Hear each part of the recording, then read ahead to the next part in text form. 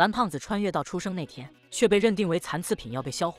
大雄决定和他同生共死。这集真是太让人感动了。那天，大雄和小伙伴们在公园里围观大人们挖时间胶囊，那里面都是二十年前的老物件，到现在都非常值钱了。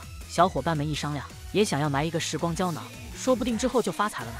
大家都回家去拿东西。大雄随手拿了一个粉色圆球道具，就当成时光胶囊来用。东西都放好后，大家就把粉色圆球埋了下去。这时蓝胖子才找到了大雄，原来那个道具叫做百年胶囊。如果把按钮设定成红色，就会回到一百年前的过去；设定成绿色，就会去一百年后的未来。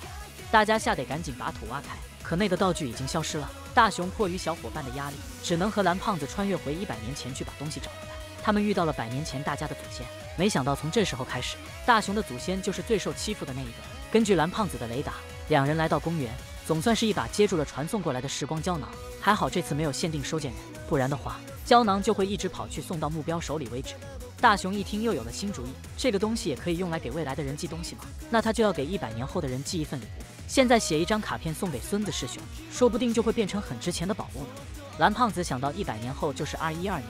也就是他诞生的那一年，在九月三号那天，他正式出场了。那个时候，他还是有耳朵的黄色猫型育儿机器人。那他诞生的时候，还发生了一件非常开心的事，但是具体是什么，他已经记不起来了。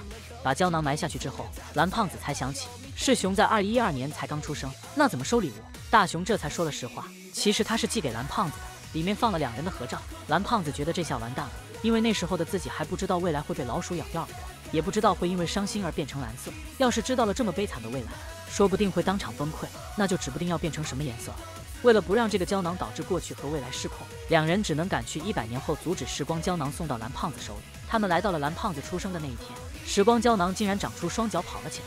两人奋起直追，只可惜胶囊跑得太快，根本追不上啊！大雄和蓝胖子来到了松枝工厂，果然看到了胶囊朝工厂里跑去。看门机器人禁止他们进入，蓝胖子只能拿出催眠钟摆。把机器人给催眠了。两人进去后，机器人很快就醒来了。整个工厂都响起了警报，一大群电子老鼠被放了出来。蓝胖子趴在传送带上，被吓得要命。为了不被发现，只能强行忍住尖叫。谁知这时，两人竟然被机械臂抓了起来。他们俩都被判定为残次品，直接扔进了不良品存放处。这里的天花板上有一个巨大的磁铁，蓝胖子瞬间就被吸了上去。大雄也踩着其他金属垃圾一起飞了上去。不料这个磁铁是要把残次品都放到熔炉里销毁，他们两人危险了。蓝胖子让他从百宝袋里找负极磁铁，可是大雄翻了半天也没找到。好不容易找到了磁铁，手里没拿稳又给弄掉了。这下蓝胖子只能让大雄快点离开，但大雄怎么可能抛下他一个人逃走？我求求你不要再管我了！都跟你说不可能了。大雄到了这种关键时刻还是很靠谱的，他翻出了人力火车头，然后小宇宙大爆发。竟然拉住蓝胖子，踩着掉落的金属块逃了出去。他徒手挡住了迎面而来的大量垃圾，然后一个大力出奇迹轰破了舱门，两人终于逃出了升天。等到安全后，他们总算再次找到了奔跑的胶囊。蓝胖子用伸手随意抓一把抓住了胶囊，面前突然窜出了一堆老鼠，他只能先躲起来。之后蓝胖子又对胶囊使用了自动绳索，大雄则在反方向使用人力火车头。胶囊也不知道哪来那么大的牛劲，差点就要把蓝胖子给拽散架了。就在双方拔河的时候，胶囊竟然剪断了绳索。大雄和蓝胖子都摔了个四仰八叉，眼看胶囊已经钻进了生产线内部，蓝胖子却还没找到开门的方法。还好大雄随手拧了一下旁边佛像的头，原来机关就在这里。